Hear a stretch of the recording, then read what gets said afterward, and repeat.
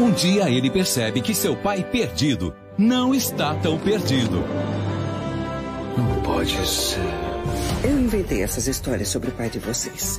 Como isso aconteceu? Era a década de 70, era uma grande loucura. Mas para descobrir a verdade, Me dá alguma coisa. Terry Bradshaw. Terry Bradshaw, tetracampeão do Super Bowl. É, vai ser um longo caminho. Só agora que eu tô pensando nisso. A Ellen não foi na viagem. Não foi quando ela começou a sair com aquele cara de Wall Street? Achamos que somos seus filhos. Nesta sexta, 11 h 15 da noite.